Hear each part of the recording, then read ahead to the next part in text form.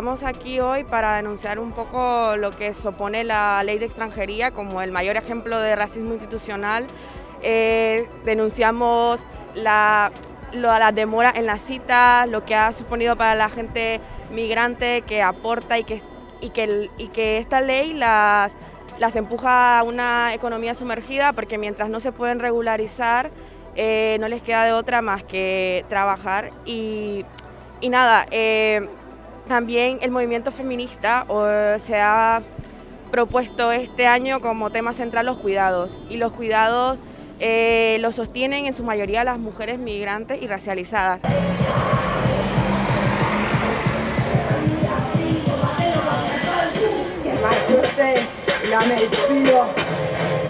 Feminismotik urteak dara matzagu ez zaintza lanak erdian jartzekoaren beharra, bizitza erdian jartzekoaren beharra, eta osasun krisionekin magerian geratu da ez e, horren beharra, eta gainera sektore e, prekario eta feminizatuei e, dagokio egiten duten lana hau da, eta hori balioan jarri behar dugula.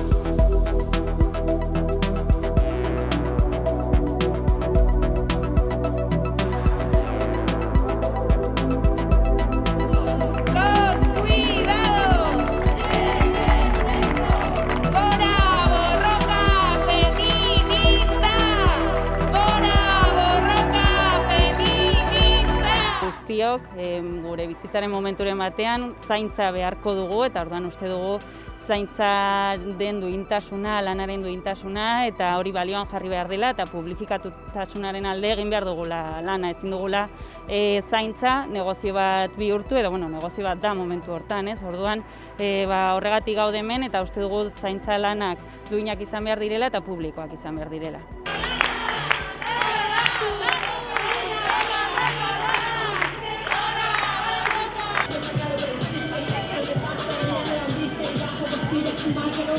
Exigimos la recuperación de los equipos de prevención en cada barrio, el fin de la criminalización del euskera, la, financiación de los servicios de 0-3 años. Denunciamos las políticas de privatización puestas en marcha por el equipo de Enrique Maya, desde la atención al cuidado en los barrios hasta la política de vivienda. Decimos basta, menos lazos morados y más dinero para los cuidados. Aquí os dejamos vuestros trapos sucios.